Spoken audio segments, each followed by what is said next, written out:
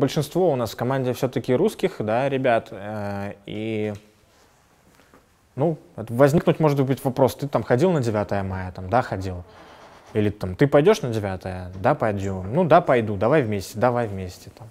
Например, вот у нас молодые, там, я себя тоже отношу к молодому, плюс там Алексей и Дмитрий, там, ну, два года, например, мы ездили на велосипедах, да. Алексей там с Вангажи приезжает, э, Дима с Булдырая, там, я там с Риги, и вместе где-то вот встречаемся на велосипедах и едем туда. Такое бывало, да. Ну так, в принципе, ну нет, эти политические праздники, кто хочет идет, кто не хочет не идет. Нас это так особо не, не касается. Это дело каждого, личное дело. Ну, мы без проблем общаемся на обоих языках, и на русском, и на латышском.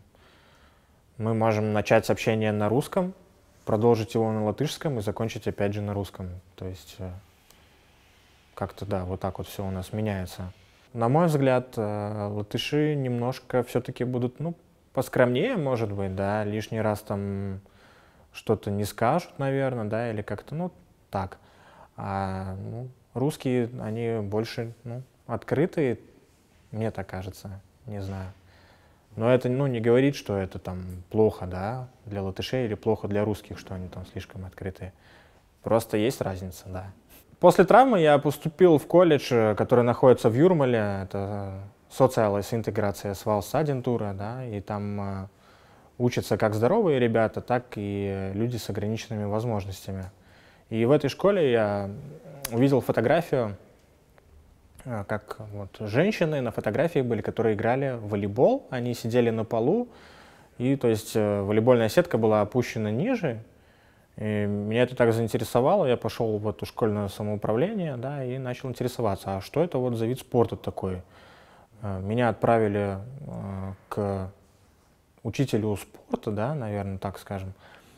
Она была тренером сборной Латвии по волейболу сидя женской. Мы начали с ней общаться на эту тему.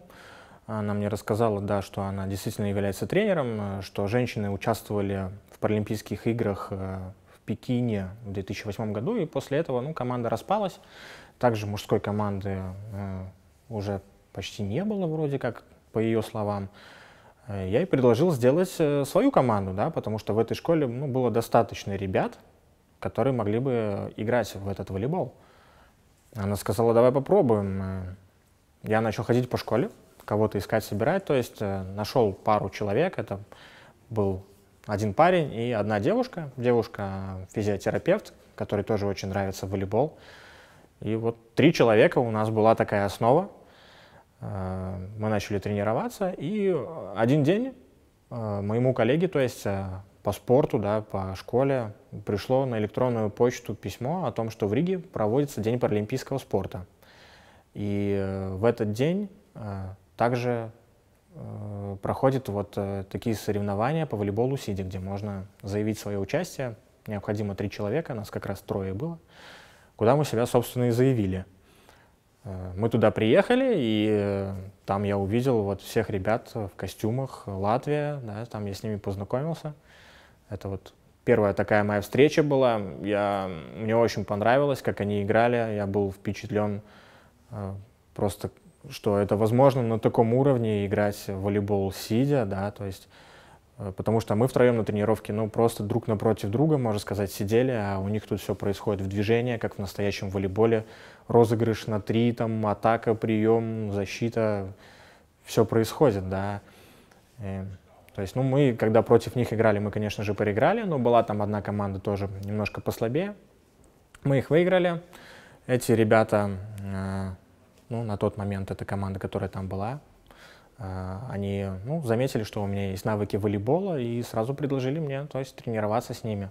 Так я попал в сборную Латвии, да, можно так сказать. Меня это так э, немножко ну, настораживало, да. Я там в сборной буду играть, но э, с одной стороны, конечно, это хорошо, да, что я вот так вот попал а, с другой стороны, плохо, потому что нет конкуренции, да, очень мало, мало, мало людей, сложно очень привлечь. Ну, сейчас я это могу уже сказать не как новенький игрок, а как, ну, наверное, уже чуть-чуть опытный, да, не такой опытный, как э, некоторые там игроки. Наш капитан, например, занимается 20 лет, у меня пока 5 лет.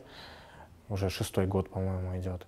Но я уже, так сказать, ну, внедрился в эту всю систему и ну, понимаю, что как происходит. И сам уже в эту команду э, привел двух игроков.